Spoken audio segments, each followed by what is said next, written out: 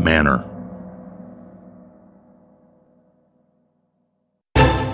Did you know there's a way to get Manor's latest updates without searching for it? Now you can by subscribing to Manor Newsletter. With Manor Newsletter, you'll find out the latest developments on things such as feature release dates, the status of productions, exclusive discounts for subscribers, and much, much more. Be the first to know. A subscription is free and takes less than a minute to sign up. Visit manorhq.com and fill out the subscription form on the homepage. Don't get left alone in the dark. Sign up today for Manor Newsletter by visiting manorhq.com.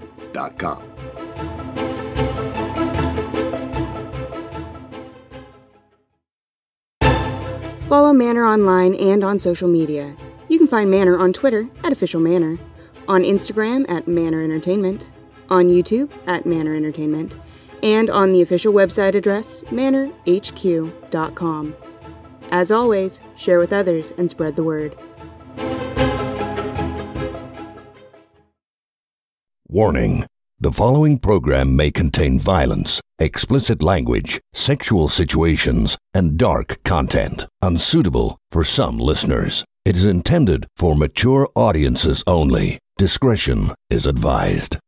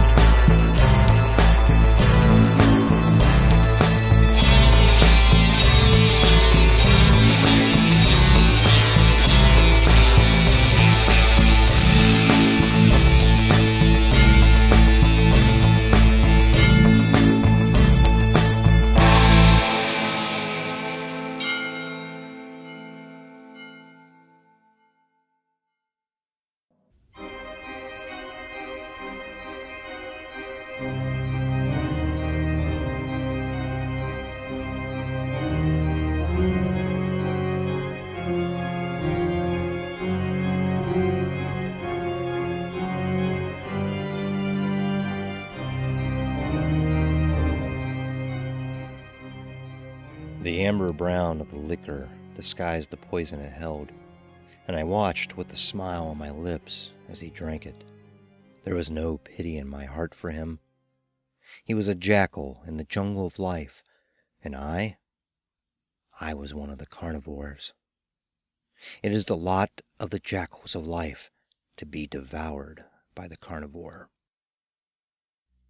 Suddenly, the contented look on his face froze into a startled stillness.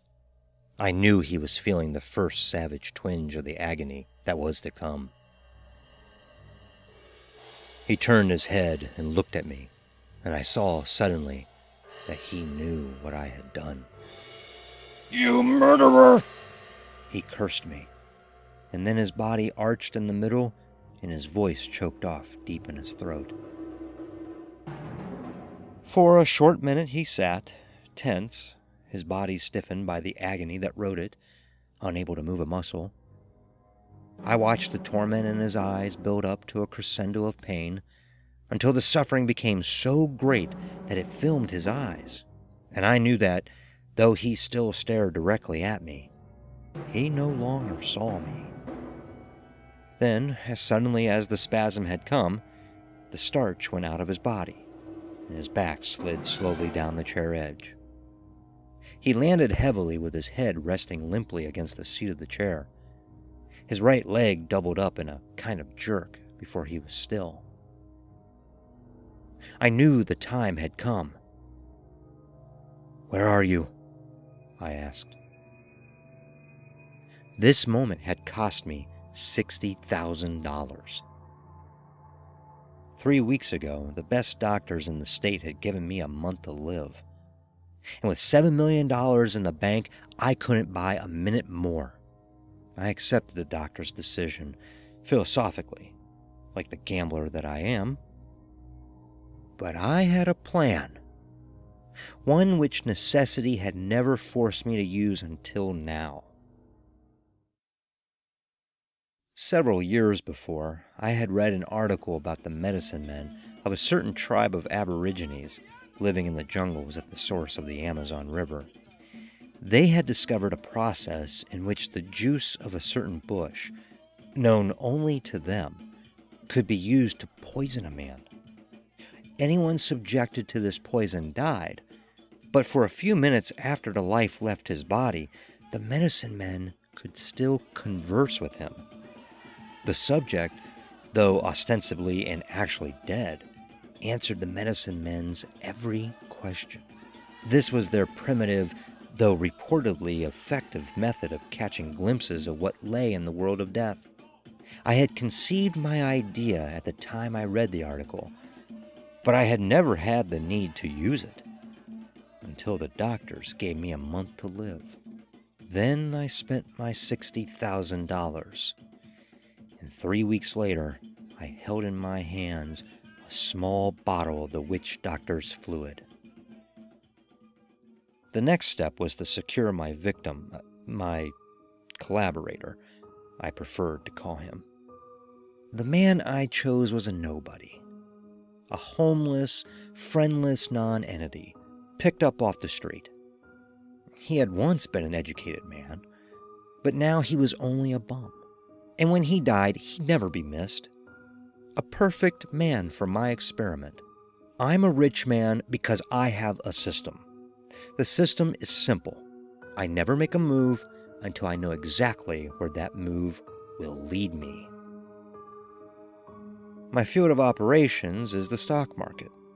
I spend money unstintingly to secure the information I need before I take each step.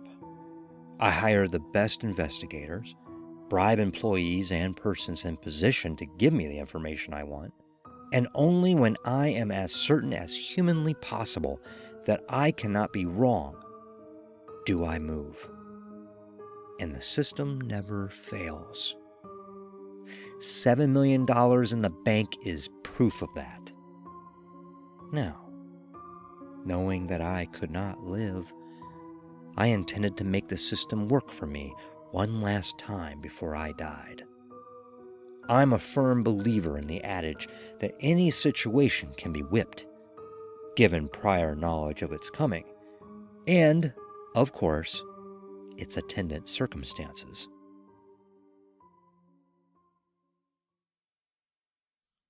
For a moment, he did not answer, and I began to fear that my experiment had failed. Where are you? I repeated, louder and sharper this time. The small muscles about his eyes puckered with an unnormal tension, while the rest of his face held its death frost.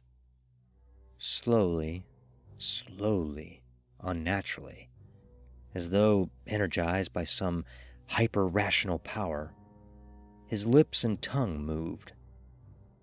The words he spoke were clear.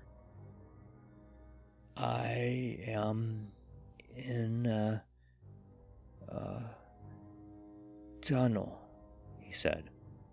It is lighted dimly, but there is nothing for me to see. Blue veins showed through the flesh of his cheeks like watermarks on translucent paper. He paused, and I urged, Go on. I am alone, he said. The realities I knew no longer exist, and I am damp and cold. All about me is a sense of gloom and dejection. It is an apprehension, an emanation so deep and real as to be almost a tangible thing. The walls to either side of me seem to be formed, not of substance, but rather of the soundless cries of melancholy of spirits I cannot see. I am waiting, waiting in the gloom for something which will come to me.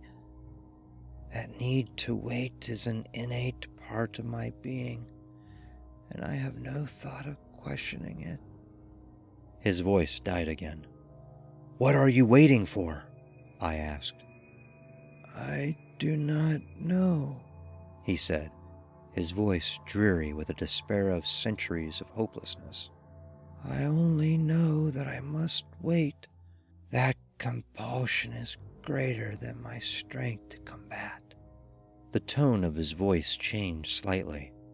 The tunnel about me is widening, and now the walls have receded into invisibility. Tunnel has become a plain, but the plain is as desolate, as forlorn and dreary as was the tunnel. And still I stand and wait. How long must this go on? He fell silent again, and I was about to prompt him with another question. I could not afford to let the time run out in long silences, but abruptly the muscles about his eyes tightened, and subtly a new aspect replaced their hopeless dejection. Now they expressed a black, bottomless terror. For a moment, I marveled that so small a portion of a facial anatomy could express such horror. There is something coming toward me, he said. A beast brutish foulness. Beast is too inadequate a term to describe it, but I know no words to tell its form. It is an intangible and evasive thing, but very real, and it is coming closer. It has no organs of sight as I know them, but I feel that it can see me or rather that it is aware of me with a sense sharper than vision itself. It is very near now. Oh God, the malevolence, the hate, the potentiality of awful, fearsome destructiveness that is its very essence. And still, I cannot move. The expression of terrified anticipation centered in his eyes, lessened slightly, and was replaced instantly by its former deep, deep despair. I am no longer afraid, he said. Why? I interjected. Why? I was impatient to learn all that I could before the end came. Because. He paused. Because it holds no threat for me. Somehow, someway, I understand. I know that it too is seeking that for which I wait. What is it doing now? I asked. It has stopped beside me, and we stand together, gazing across the stark, empty plain. Now a second awful entity, with the same leashed virulence about it, moves up and stands at my other side. We all three wait. Myself with a dark fear of this dismal universe. My unnatural companions with patient, malicious menace. Bits of. he faltered. Of. I can name it only aura go out from the beast like an acid stream and touch me. And the hate and the venom chill my body like a wave of intense cold.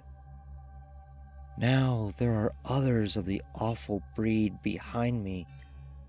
We stand, waiting, waiting for that which will come. What it is, I do not know. I could see the pallor of death creeping steadily into the last corners of his lips, and I knew that the end was not far away. Suddenly, a black frustration built up within me. What are you waiting for? I screamed, the tenseness and the importance of this moment forcing me to lose the iron self control upon which I have always prided myself. I knew that the answer held the secret of what I must know. If I could learn that, my experiment would not be in vain, and I could make whatever preparations were necessary for my own death. I had to know that answer. Think! Think! I pleaded. What are you waiting for? I do not know. The dreary despair in his eyes, sightless as they met mine, chilled me with a coldness that I felt in the marrow of my being. I do not know, he repeated. I. Yes. I do know. Abruptly, the plasmatic film cleared from his eyes, and I knew that for the first time since the poison struck, he was seeing me clearly. I sensed that this was the last moment before he left for good. It had to be now. Tell me, I command you, I cried. What are you waiting for? His voice was quiet as he murmured, softly, implacably, before he was gone. We are waiting, he said, for you.